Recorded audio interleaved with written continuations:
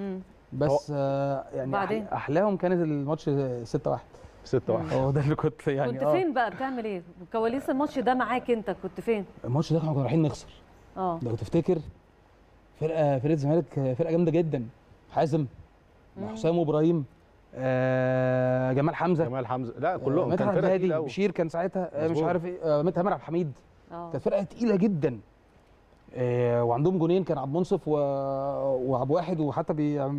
كل واحد بيلعب ماتش من كتر ما كانوا هم الجونين الجامدين ورحنا والله إحنا في الاستاد مش لاقيين حد ما فيش نجم في الفرقة كان حتى خالد لسه مش يعني بيبو ما كانش لسه بيبو وابراهيم كان يمكن. إبراهيم سعيد بس اللي بننادي عليه آه. وبقية الفرقة ما فيش حد قوي يعني مش كان لسه رضا شحاتة برده مش قوي لحقت جون رضا شحاتة ولا آه، ما أنا كنت في لحقتوش الاستاد. كنت آه، يعني في ال live. يعني أنا عمال. أبص على ال- آه. اليافطه مش مصدق مش آه. مصدق ها؟ مش آه، مصدق. مش مصدق الرقم ده وخلي بالك هي لحد 3 1 لما حسام حسن جاب الجون هي كانت قريبة.